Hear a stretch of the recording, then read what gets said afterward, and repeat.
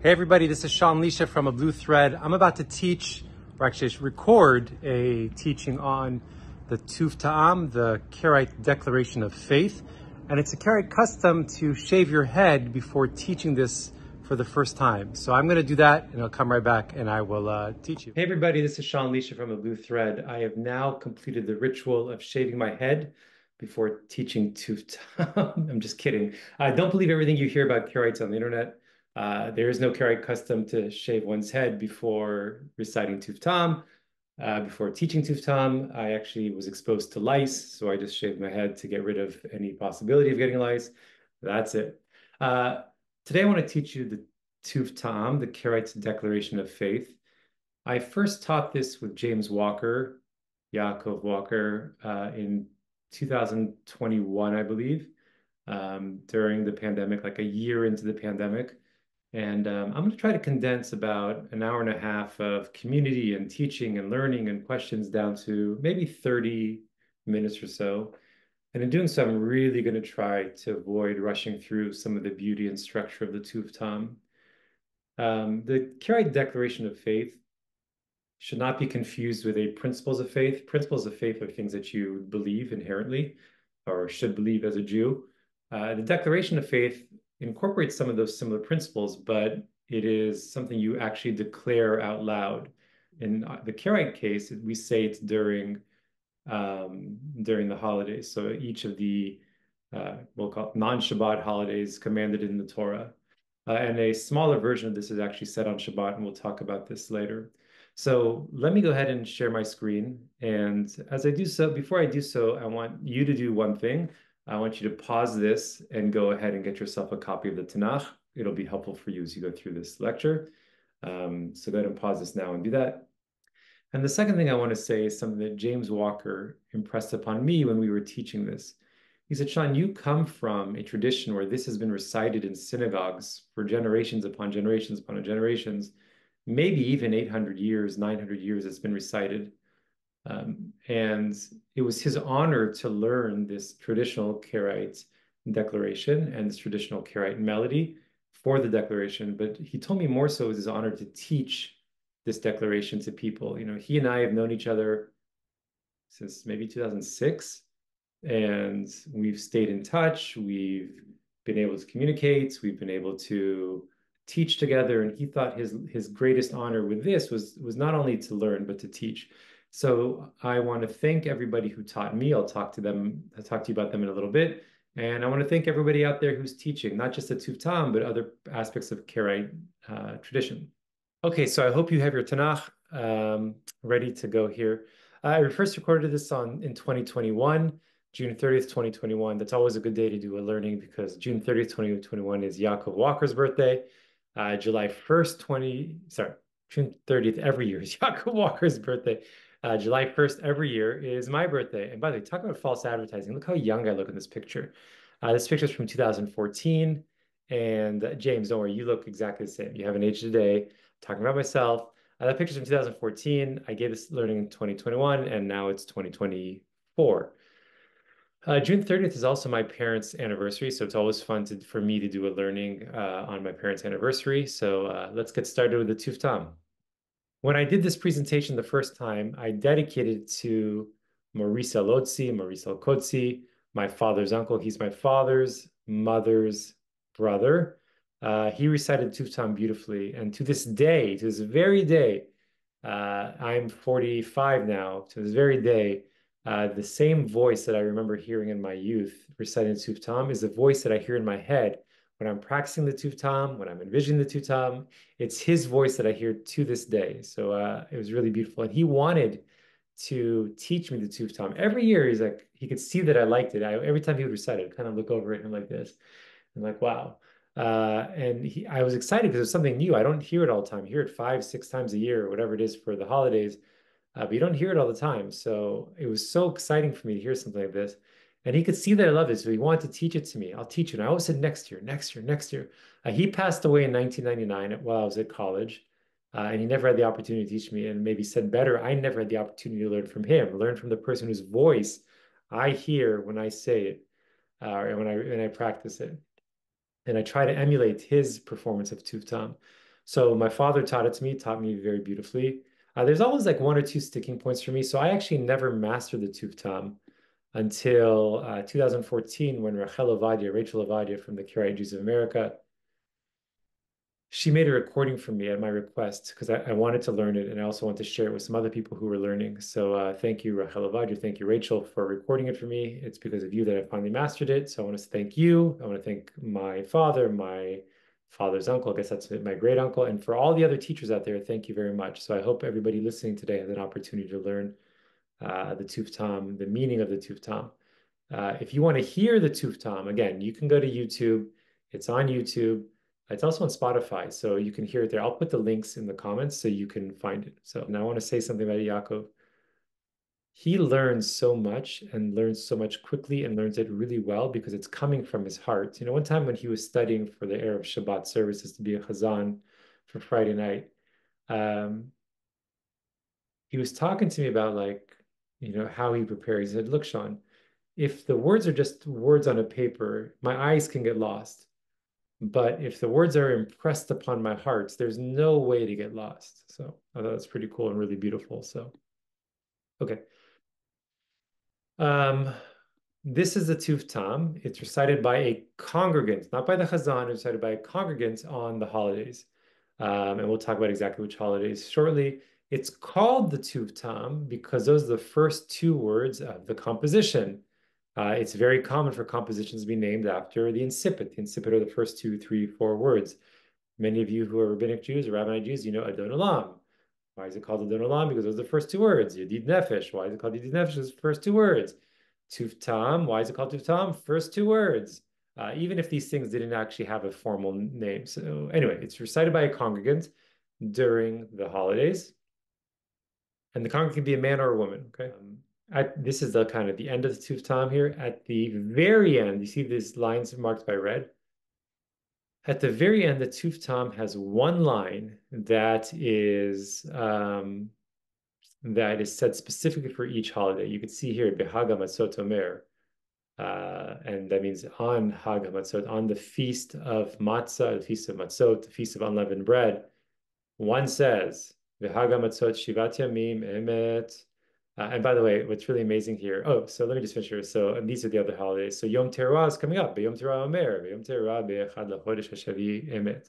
Uh, and what's amazing about this, just I think it's hilarious, is that I look, I have no idea what this says in Arabic. I don't read Arabic script. I sure as heck don't read Arabic scribble in Karaite textbooks that were based off an 1891 printing of the Karaite, uh, the Karaite ser uh, service from the Vilna printing and this is probably written in the second half of the 20th century, maybe early 21st century. I, I, don't know. It's obviously written by somebody who's much more comfortable in Arabic than English.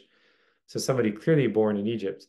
Um, anyway, so I'm guessing what he did, and I, I know it's a man because I know which textbook this is, but uh, I'm guessing what he did is, um, which prayer book this is, I know whose it is. So uh, I guess what he did is he, like you would do in English, you would say, uh, if you're more familiar with English and Hebrew, you would say Rosh Hashanah, Yom Teruah, whatever you would say in English, just so you could find it quickly.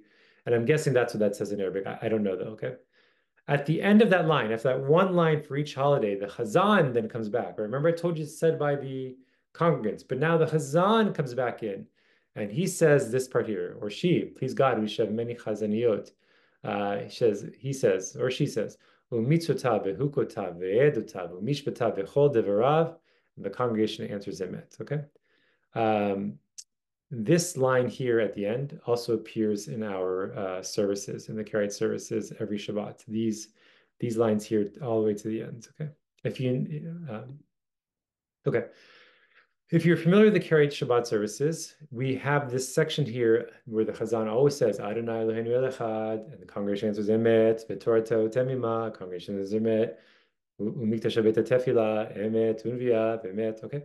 So the Tuv Ta'am is taking the place of this stuff in blue. This is an abbreviated declaration of faith. And you can see later when we talk about the, the Tuv Ta'am, uh, maybe I should say, maybe that's an expanded declaration of faith, and this is the normal one. I don't know. But the point is that um, you will see that the Tuv Ta'am replaces this in the service. So like you don't say these lines that are bracketed in blue there.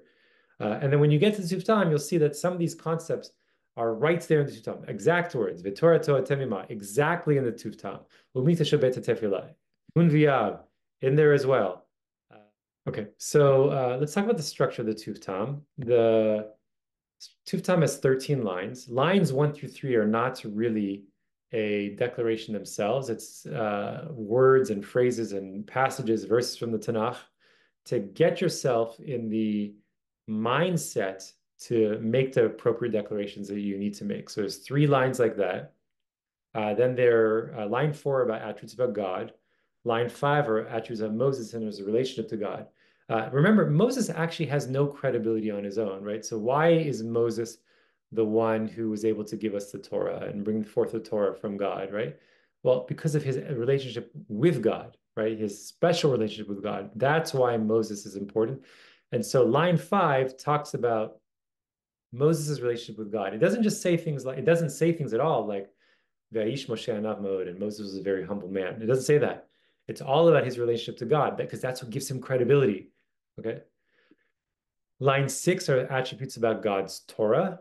Um, and that's where you'll see things about Torah Torah Temima. We saw that earlier in the Shabbat prayer. You'll see the same thing in the uh, Tuv Ta'am.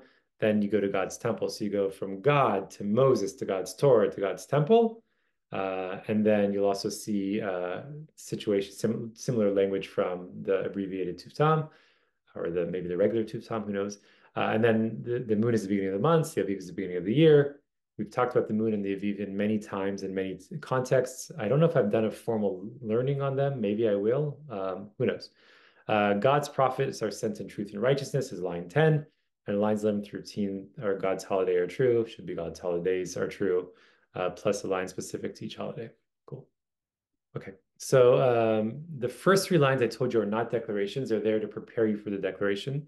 If you look at the Tuv Ta'am, after every declaration, there's the word emet said by the congregation. However, because the first three lines are not declarations, the congregation says nothing at the end of the first line. So to this He Emanti, the congregation says nothing at the second line, Vihatzlichu. The congregation only answers at the end of the third line with the words Uv Moshe Abdo and Moses' servants. Okay. And then after that, it's Emet, Emet, Emet. So we're going to make a declaration. The congregation is going to yell truth, declaration, truth, declaration, truth, Emet, truth. Okay. Declaration, truth. Uh, and then, as I mentioned to you, here this is the end of Tuv Ta'am. Here's what the con the congregant says on um, Yom Teruah would be this line with the word emet highlighted. And then the Chazan continues here as we discussed. Okay, so um, now I'm going to talk to you about the analysis of the Tuv Ta'am. Again, I mentioned to you the first three lines are not uh, declarations of faith. They're really precepts from the Bible or um, verses from the Bible that uh, will help you get in the mode of saying the recitation. Uh, and the words are, teach me good judgment and knowledge, for I believe in your commandments. Believe in the Lord your God, and you will be established. Believe in his prophets, and you will prosper. And they believed in the Lord, in the Lord, and in Moses his servant, of Moshe Avdo. Uh, and you could see here, there's an asterisk here that shows you where the community is going to respond. This is a great and beautiful way for Carrie to start a declaration of faith right? So verses straight from the Tanakh before you get into declarations that uh, may be based in Tanakh but aren't actual verses directly from the Tanakh. Okay. So we've prepared ourselves for the declaration, and now we're in the declaration itself. The Lord our God, our Creator, our Redeemer, our Maker, our Holy One, is unique in the universe, truth. This is a list of attributes about God in alphabetical order. If you look at it, it says Aleph, Bet, Gimel, Yud, Kuf. Um, and um, this list appears from Eloheinu through, uh, from maybe Adonai Eloheinu through um, Kedoshenu and many Karaite rabbinic sources. And the entire list from Adonai all the way through Emet gets, it appears in the Erev Shabbat, the Friday night services for the Karaites. Uh, so if you are familiar with the Friday night service, this line should look very familiar to you. Okay. Okay, so uh, remember we went from God now to Moses. Remember this is about Moses' relationship with God, not Moses his his qualities on his own, not Moses the stutterer, not Moses the um, not Moses the uh, the humble man. Um, it's about Moses' relation with God. It says, and Moses is his servant, his prophet, his messenger, his desired one, his chosen one, his beloved faithful emissary with signs and wonders. Um, so let's talk about this. So it's Moses as a servant, prophet, messenger, many places throughout the Tanakh. I'm not going to give you exact answers for all of them, but let's look at the next words here. Um, Retsuyo Bechiro Ahuvo, his desired one, his chosen one, his beloved one. The these are like synonyms. Retsuyo Bechiro Ahuvo are synonyms elaborating on Moshe Bechiro in Psalms 106.23. So Psalms 106.23 says Moshe Bechiro, and we've got some synonyms, Retsuyo, Ahuvo, that bracket uh, Bechiro to add some beauty to the composition. Um, then it says he's a faithful emissary, Tsir Ne'eman. What's amazing about this is that uh, what's amazing about this is that um, this language appears in Proverbs 25:13. But in Proverbs 25:13, that Tsir Ne'eman, the faithful emissary, is not Moses in particular. The faithful emissary is a generic emissary, not Moses. No, no one, no name given. Uh, and in rabbinic sources, and then obviously later Karaite sources, it was repurposed. This language was repurposed to talk about Moses specifically. So when you see Tsir Ne'eman in Proverbs, it's not about Moses in particular. When you see, see, Tsir Ne'eman in liturgy, it can very well apply to Moses, and you see it quite often applying to Moses. Uh, with signs and wonders, Deuteronomy 34, 11, um, that language appears there, okay? Um, and we've gone from God to Moses to now God's Torah. Okay, so God, God's servant Moses to God's Torah. Um, and I'm going to read it for you, and then we will go to the uh, the sources. And his Torah is perfect, sound, pure, right, clear, enlightening to the eyes, rejoicing to the heart, soothing to the soul, teaching wisdom to the simple. And it is more pleasant than gold, even the finest gold, and sweeter than honey and nectar and beneficial to those who keep it and those who fulfill it get much reward. Truth. Uh, so this is all about God's Torah. And you could see the sources here from Psalms 19.8. I've highlighted in green for you the places where this comes from in the Psalms, right? Look how much language of the Psalms are right there. What's interesting about this, remember early back at the beginning, I told you that the Shabbat version of this says Vitorah Toa Temima. Well, it's right there. Torah Toha Temima, Toha Temima. And his Torah is perfect, right? So the exact same language here, much more uh, elaborate here, but the exact same language that you see in the abbreviated one also appears here. Uh, Psalms 19.9 says, The precepts of the Lord are just, rejoicing the hearts. The instruction of the Lord is lucid, making the eyes light up. And you can see I've highlighted the portions from that that appear in the Tuv Ta'am. What's interesting about this that I think uh, I want to point out to you is that Pikudei Adonai is um, the precepts of Adonai. The precepts are masculine plural, but the Torah is feminine singular. So you have a transition of the words from, if you look here, Yesharim to Hayeshara, because you have to go from masculine plural to feminine single. So all of these adjectives or verbs or whatever they are in the context go from um, go from uh, masculine plural to feminine singular because we're going from precepts to the Torah. Okay, uh, Psalms 1911. Uh, you could see again, I've highlighted for you where these comes from. Virtually every word from here appears in the, uh, or in some version of every word appears in the uh, Tuv Ta'am. And again, you've gone from masculine plural to feminine singular. It says the Torah is more desirable, uh, the precepts are more desirable than gold, than much fine gold, sweeter than honey, than drippings of the comb. All this is there in the Tuv Ta'am. So it shows you how biblically based they really tried to make these declarations. So far, we'll talk about more in a second, but so far. Uh, and then Sachar Harbe. Um, really truly have no clue where what this is a reference to. Just if I'm being honest with you, I don't I don't have like a great grasp of this. It is possible, and maybe even very likely, that it's from Mishnah Avot 410, where it talks about the study of the Torah uh, will lead to, lead to a great reward. And here in the Tuv Ta'am, is saying the study of the Torah, the Torah itself will lead to a great reward. Uh, of course, the concept of great reward appears in Tanakh, uh, maybe in Genesis 15, but there it's not talking about the Torah. So the point is, there's some concept of the Torah giving you reward in rabbinic literature, and maybe possibly the Karaites who wrote this had uh, in mind that uh, the Torah gives reward because he knew the Mishnah. Uh, and many Karaites study the Mishnah, and I encourage all of you to study the Mishnah, okay? Okay, so now we are at um, God's temple, right? We went from God's attributes about God to Moses to the um, Torah. Now we're at the temple. So umita shabeta Tefillah. Remember earlier I told you you're going to see that same language from the abbreviated or the Shabbat version here. Umikdash Beta Tefillah is exactly what's there. Uh, so let's read this. And his temple is a house of prayer, the house of worship, the house of sacrifice, the house of pilgrimage feasts, the temple of the King, the Lord of hosts, in Jerusalem, the holy city, truth. Okay, so house of prayer, that's easy. That comes from Isaiah 56. A house of Avodah, sacrifice and pil pilgrimage. There's no express source found uh, for these exact words uh, in the Tanakh that it's a house of Avodah, sacrifice and pilgrimage, but it's all logic, right? The temple service is referred to as Avodah. Uh, it's a place of sacrifice. People do their pilgrimages there. That that all makes sense. But there's no place it says it's a house of uh, Avodah or a house of sacrifice or a house of pilgrimage. Okay.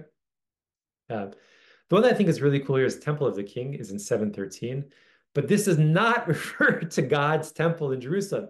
It refers to Yeroboam's perfidious temple in Bethel.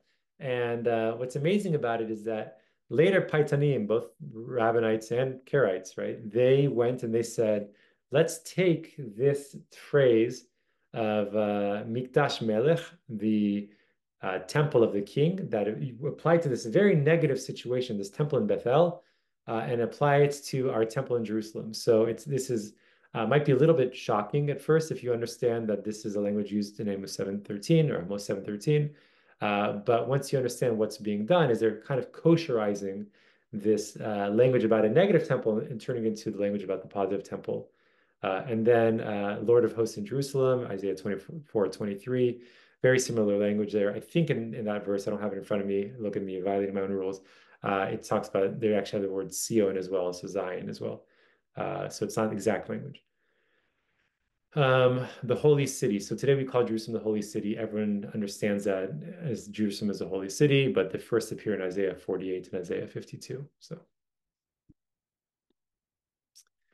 okay, uh, now we're going to get to the places where things, just like the last verse, you start seeing things that aren't exactly biblically based, right? So there you I said there's no exact source for it's a house of, of Avodah, a house of sacrifice, a house of pilgrimage, although it all makes logical sense. Here you have the same thing, although we have one problem here at the end that I'm going to talk to you about, which I find fascinating. Uh, let's read it first. And the moon in its in its I'm going to try again. Let's read it first. And the moon in its renewal, in its visibility, in its appearance to the eye, in the evening at the time of its testimony is a reliable witness in heaven, Selah, a valid sign and an indication for the beginning of the months according to the word of God. Uh, it's all very beautiful, but in fact, there is actually no express place, no express place where the word of God says that the new moon is for the months. It doesn't say that anywhere. Uh, so I was kind of like, mm, say Kema Marel, but I think about it every time. Okay. So uh, cool. Uh, let's talk a little bit about the uh, the new moon. So um, I don't know when the Tuv Ta'am was written. Like I I have no clue. And um, I think I, I spoke with Neria Haroe about it. He said he saw it in a manuscript and it was from like the Mourners of Zion period. So about a thousand years ago and 900 years ago, um, maybe 850 years ago, depending on when you think the more end of the Mourners of Zion period was. Um, so this is a, an epistle, a letter from Daniel al-Qumisi to the Jews in ancient Persia and modern day Iran. And he's talking about the new moon. And it's fascinating, right? It says, Now you are living in the midst of the kingdom of Ishmael, who are favorable to those who fix the new moon by lunar observation. Why then are you afraid of the Rabbinites? God will help you. So it doesn't say expressly that the Rabbinites are not following the new moon. I think that's a logical implication. I, I really do. But you could maybe squint your eyes and make the argument maybe both Rabbinites and Karaites are following the new moon. And because they're both following the new moon, the uh, Islamic government, the Kingdom of Ishmael, would protect them. I don't think that's the case. I think it's pretty clear to me that the Rabbinites are not following the new moon in this time and place. uh, and the Karaites were. So um, Kumisi is encouraging them to be strong in their faith because they're sighting the moon.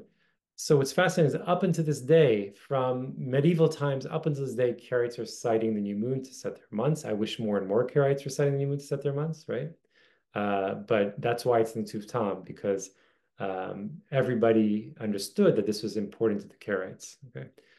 Uh, I'm not going to get into this, but I just want to point out to us to you is that if you want more sources on the new moon and more sources on Karaite text, go buy Royal Attire. It's on Amazon. It's on the KaraitePress.com.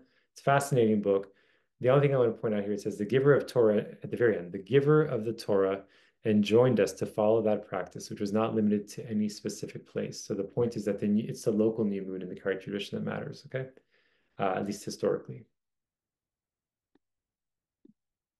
Okay, so um, this book, Pathway to Jerusalem, is a translation of a of a book written by Rabbi Ovadia Bertinoro, who traveled from Italy, from Bertinoro to um, to Jerusalem, and um, he also wrote a commentary on Mishnah, a very famous rabbi. Uh, and he's talking about the Karaites. They, the Karaites, sanctify the new moon with witnesses. Look at that. The Tuv Ta'am talks about it, the importance of that. And Kumisi, uh, so uh, Bertinoro was born in 1450. So Kumisi lived about 500 years before Bertinoro, and uh, he's talking about the Karaites sighting the new moon. 500 years later, Bertinoro is talking about the Karaites sighting new moon. It says they, the Karaites, sanctify the new moon with witnesses. Sometimes, due to conflicting testimony, the Karaites in Cairo make Rosh Hashanah and Yom, and Yom Kippur on a different day than the Karaites in Jerusalem. There are two Karaite householders who live in today in Jerusalem, and they see nothing wrong with it. So I see nothing wrong with it either. First of all, it should be the local new moon. So I guess in theory, maybe possibly the Jerusalem moon or the yeah the Jerusalem moon and the Cairo moon might be on different days, possibly, although they're very close geographically. Um, but um, but yeah. So again, I see nothing wrong with this either. So all right, Ha'aviv. We're going to talk about Ha'aviv Hanim Sa Beretz Israel. Remember, um, we talked about the new moon is local new moon, and actually, if you go back here you will see that in the declaration about the new moon, it says nothing about uh, it says nothing about Jerusalem or Israel or anything like that, or land of Israel. It just says the new moon and its renewal and its visibility and its appearance to the eye in the evening. It doesn't say where that because the, the historical Karaite view was that it was the local new moon. Um, but now you fast forward here back to the Aviv, and it says, and the Aviv, which is found in the land of Israel. Okay, the Aviv has to be found in the land of Israel. Like those words are missing from the new moon part, right? And the Aviv, which is found in the land of Israel, in its time, in its manner, its nature, is is a valid sign and an indication for the beginning of the years for the pilgrimages, feasts, holidays, according to the word of the God of hosts. Uh, this actually is more explicit in the Torah about uh, Aviv is the is the beginning helps you set the beginning of the year. It's a little bit more explicit than uh, the new moon. Uh, we know that the first new moon, the, the new year is the first new moon after the Aviv is um, reaches a certain stage of ripeness in the land of Israel. Uh, you can read more about that somewhere else. So it's more explicit than um, than um, the new moon thing. So here, Kama Mar Elohei Hatzavot, I don't wince as much. I don't have to think as, as hard about it. Okay. So again, royal attire. What's interesting about this, what's fascinating to me about this is that you have Judah Hadassi, 12th century Constantinople. Remember that. Constantinople, 12th century, talking about how the Karaites of his time and place would inquire about people who had visited the land of Israel and ask them if the um, and asked them whether the barley was aviv, okay, which is fascinating. Like they were so intent on understanding the proper time for setting the year. Hey, you were in Israel? Tell me, what did the aviv look like? What did the barley look like? Is it ripe? Is it not ripe? When should we set our holidays? Right? They were so intent on doing. It. They were interrogating people who went. Okay. Um, this Karaite Yisrael HaMa'aravi. By the way, there's books about him on the Karaite Press. Um, and what's what's amazing about this guy is he, this rabbi or this hacham, he lived in, uh, I believe, 15th century, probably the exact same time as Bertinoro was traveling, 15th century in Cairo. Okay, so he's living in Cairo, a few hundred years after uh, Hadassi in Constantinople, and he's talking about how the Karaite communities from around the land of Israel would send people into the land of Israel to go find the Aviv, and then they would come back and report. Okay. Yes, as these emissaries came to all these communities by the 10th of Nisan, so they would report back by the 10th of Nisan um, so that they could know when to celebrate Passover. Okay. Um, awesome. Nisan, by the way, is the first month uh, of the of the Bible, of the biblical calendar. Okay, so now back to Bartenura. So I again, I think this is fascinating because you've got this uh, rabbinic sage, this rabbi, traveling all the way to Jerusalem. And he says the Karaites in Cairo send messengers to Jerusalem every year. Oh my gosh, we just read a Karaite testimony about that. The Karaites in Cairo send messengers to Jerusalem every year to see when spring has begun. According to the information they receive, they decide whether or not to add a leap month to the year. Again, it could well be that the Karaites in Cairo, were Ma'aravi is, and they will add a month. And the Karaites in Constantinople, where Hadassi was, uh, will not. Nevertheless, they see nothing wrong with this. And everyone does what is right in his own eyes. I think that's awesome. Do what's right in your own eyes. I do want to say, though, and I don't have the Hebrew of what he wrote here. I just have the English. The this right in his own eyes might be a polemic based on the book of Judges, where there was no king and everyone was doing what's right in their eyes. It was a very negative thing there. Uh, here, I take this as a compliment, and I think again today, uh, I believe that without a king, you have to do what's right in your own eyes, um, in a positive way, not a negative way. So this might be a polemic, but I take it as a compliment. But anyway, I, the more important thing about this is that I showed you Karaite sources from Constantinople and from Egypt uh, about what they would do to deal with the Aviv. And Bartenura was telling you exactly, oh, wow, look at this. The Karaites of Constantinople might do this. The Karaites of uh, Cairo might do this. And, and no one saw a problem with this. So I think that's amazing. Okay. So I remember way back at the beginning, we talked about Unviav and his prophet. It's said in that small portion of the blue that's uh, that we no longer say on the holiday. We don't say on the holidays, but we still say on Shabbat.